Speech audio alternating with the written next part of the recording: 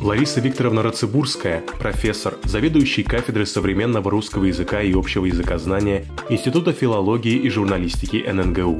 Автор более 300 научных работ. Ученый, который видит язык как захватывающий и непредсказуемый мир. Педагог, который открыл этот мир для многих поколений студентов-филологов.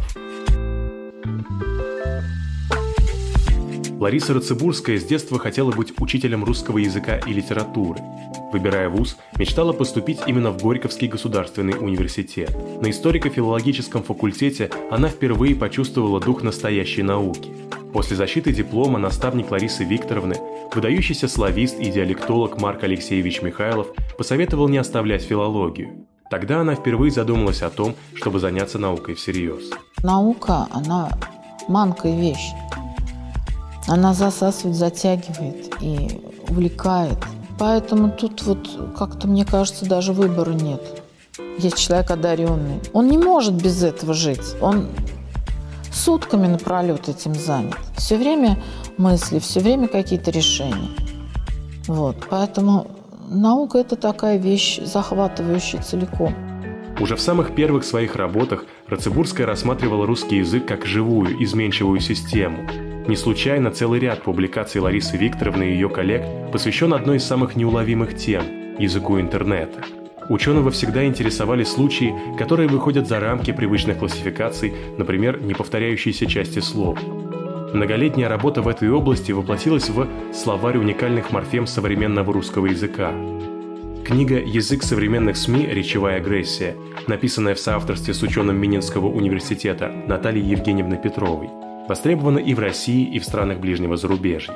Многие работы Ларисы Викторовны выдержали не одно переиздание. Я уже занятие наукой воспринимаю как бальзам. То есть я же не могу там 24 сутки этим заниматься. У меня там много разных других дел и обязанностей. Но когда ты уже непосредственно садишься, погружаешься в материал и в свои проблемы, которыми ты занимаешься, то лучше себя чувствуешь физически. То есть у меня, например, голова перестает. Я вообще чувствую себя лучше. Я не чувствую усталости. И поэтому я вот занятие наукой рассматриваю как вот какое-то лакомство. То есть это уже для меня просто вот радость.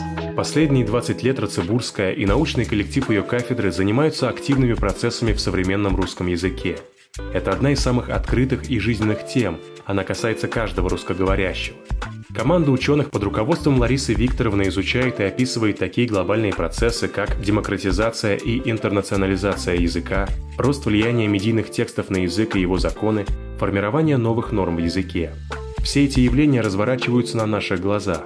Прямо сейчас они меняют наш письменный и устный язык, а значит и наше мышление. Есть студенты, действительно, их немало, которые вот живут интересами науки, а, которых наука воодушевляет, которые с удовольствием занимаются научными исследованиями. Я думаю, что такие студенты будут всегда. Может быть, даже на более высоком уровне, потому что у них возможностей сейчас больше. Благодаря интернету, благодаря тому, что они намного лучше знают иностранные языки, прежде всего английский, чем знали мы, например. Вот. И поэтому возможности намного больше у них. Что я могу сказать? Любите науку, а наука выберет тех, кто ей нужен.